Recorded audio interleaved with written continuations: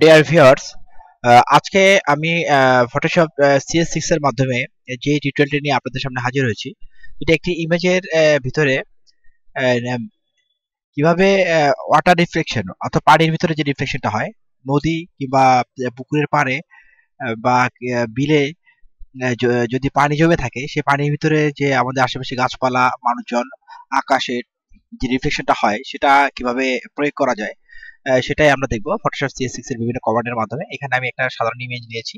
আপনিও আপনার ইচ্ছা মতো যে কোনো ইমেজ দিয়ে এভাবে প্র্যাকটিস করে দেখতে পারেন। তো প্রথমে আমরা ইমেজ সাইজ ইমেজ সাইজটা নির্ধারণ করে দিব। আমি ইমেজ সাইজ নিয়েছি এখানে সতেরোশো পিক্সেল এবং হাইট নিয়েছি বারোশো পিক্সেল রেজলিউশন সেভেন্টি টু রেখে ওকে করলাম। এবার ইমেজ পুনরায় ইমেজ ক্যানভাস সাইজ ক্যানভাস সাইজটা এখানে সিলেক্ট করে আমি যে দৈর্ঘ্য এবং পোস্ত অথবা দৈর্ঘ্য এবং পোস্ত এবং উচ্চতা যেটা রয়েছে, সেটার যে ইউনিক মানটা রয়েছে সাইজের সে সাইজটা আমি পার্সেন্টেজ করে দেবো ইঞ্চিস ছিল সাইজটা পার্সেন্টেজ করে দিলাম। দিয়ে ওয়াইড যা আছে, একশো, একশোই থাকবে এবং হাইটটা আমি বাড়িয়ে ওয়ান দেড়শো করে দিলাম। দেড়শো করে যে অ্যাঙ্করটা রয়েছে, এই অ্যাঙ্করের যে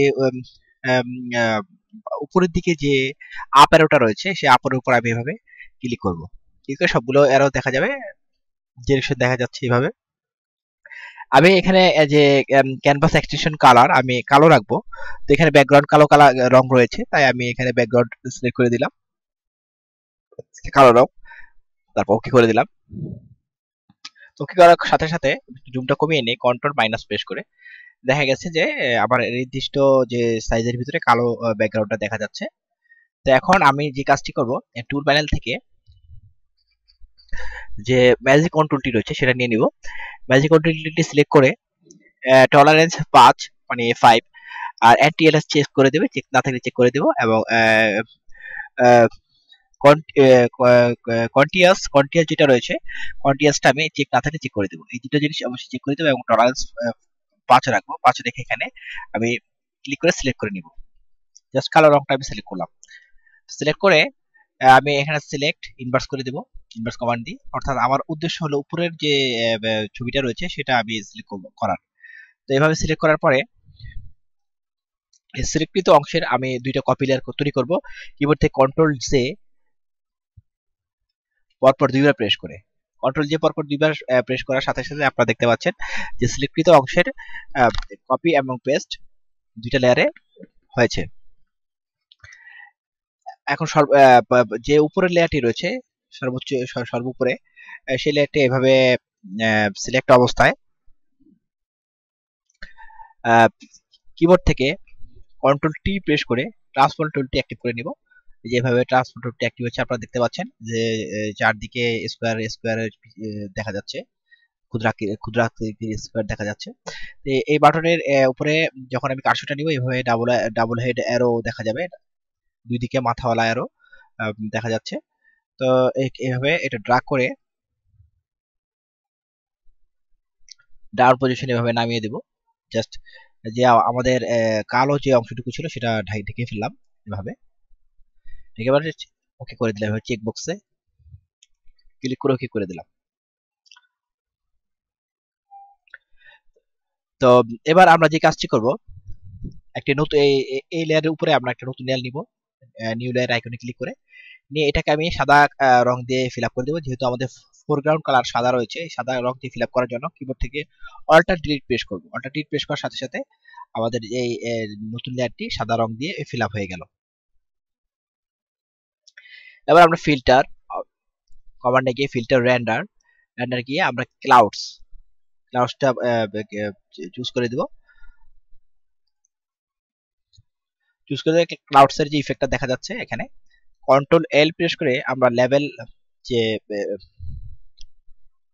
লেভেলের যে ডিফল্ট সেটিংটা রয়েছে সেটা চলে আসবে। এখানে লেভেলস এর যে মিডটোনটা রয়েছে সেটা আমরা ওয়ান আছে, এটা আমি টু করে দিব। টু করে দিয়ে ওকে করে দিব। এবার পুনরায় ফিল্টার ডিস্টোর কমান্ড দিব এবার। ডিস্টোরে গিয়ে আমরা এখানে যে কমান্ডটা ট্রেল ট্রেল কমান্ডটা দিব। প্রোফাইল কমান্ডে সিলেক্ট করে এখানে যে অ্যাঙ্গেল রয়েছে সেটা আমি দুশো থেকে দুশো ছয় দিব। দুশো ছয় দিয়ে ওকে করে দিব। পুনরায় আমরা ফিল্টার গিয়ে ডিস্টোর দিব। ডিস্টোর দিয়ে এবার আমরা জিগজ্যাক করে করেছিলাম টুয়েলভ এবার জিগজ্যাক জিগজ্যাক দিয়ে অ্যামাউন্ট যেটা রয়েছে, সেটা আমি এইটি ফাইভ দিব এবং রিডজেস যেটা রয়েছে সেটা আঠারো এবং স্টাইল দেব পন রিপলস এই তিনটা জিনিস এইভাবে সেটি সেট করে এখানে। এখানে আরেকটি ব্যাপার খেয়াল করতে হবে যে এখানে যে আমাদের ভিউ যেটা রয়েছে সেটা স্ন্যাপ চেক বক্স চেক না থাকে চেক করে দিতে হবে। দিয়ে তারপর আমরা ফিল্টার ডিস্টোর জিগজ্যাক দেন যে অ্যামাউন্ট পঁচাশি ব্রিডজেস আঠারো এবং স্টাইল পন পন রিপেলস রেখে ওকে করব। তো অপেক্ষা করার ফলে দেখা যাচ্ছে এরকম একটা ইফেক্ট দেখা যাচ্ছে, আপনারা দেখতে পাচ্ছেন। এবার আমি কিবোর্ড থেকে কন্ট্রোল টি প্রেস করে ট্রান্সফার টুলটি নিয়ে আসব। অ্যাক্টিভ করে এটাকে আমি এভাবে ঠিক আমার যে ছবি নিচে যে ডুপ্লিকেট ছবিটা করেছিলাম, সেই ছবি বরাবর এনে এভাবে পজিশনিং করে দিব। দিয়ে ওকে করে দিব। করে দিয়ে এবার আমরা এডিট ট্রান্সফর্ম পার্সপেক্টিভ কমান্ডটা দিব। পার্সপেক্টিভ কমান্ডটা দেওয়ার উদ্দেশ্য আমরা দেখতে পাবেন এখন যে এই জলের যে পার্সপেক্টিভ রয়েছে, দৈর্ঘ্য সেটা আবার অনুপাতিকটা আমার ল্যান্ডের বরাবর অনুমান করে আমরা এটা ঠিক করে দিব। আপনারা অনুমানটা ঠিক করে নেবেন এভাবে। অনুমানটা যে এই ল্যান্ড অনুযায়ী আপনার পুকুরটা বা নদীটা কতটুকু সমতল বা আনুভূমিক হবে।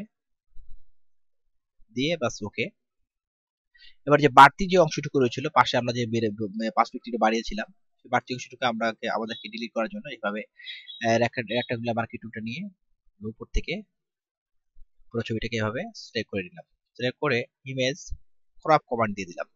ক্রপ কমান্ড দেওয়ার সাথে সাথে দেখা গেছে যে এর পাঁচ বাড়তি যে অংশটুকু ছিল সেই অংশটুকু ক্রপ হয়ে গেছে। কন্ট্রোল টি প্রেস করে আমরা সিলেকশনটা দূর করে দিলাম। এবার লেয়ার অপশনে গিয়ে লেয়ার ডুপ্লিকেট লেয়ার ডুপ্লিকেট লেয়ারে গিয়ে এখানে ডকুমেন্ট যে অপশনটা আছে সেখানে নিউ নিউ নিউটা আমরা সিলেক্ট করে দেব। দিয়ে নামটা দেব ডিসপ্লেসমেন্ট ডিস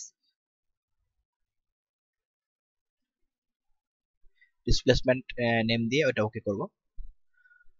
ওকে করার সাথে সাথে এটা এরকম একটি ডকুমেন্ট দেখা যাবে, সেটা আমরা ফাইল সেভ দিয়ে দিব। ডিসপ্লেসমেন্ট নামে সেভ দিব এবং ফরম্যাট পিএসডি বা পিডিডি ফরম্যাট ডেস্কটপে সেভ করব। সেভ এরকম এরকম ডায়ালগ বক্স আসবে, সেটা তখন ওকে করে দিব। ওকে করে আমরা এই এই ডকুমেন্টটি ক্লোজ করে দিব।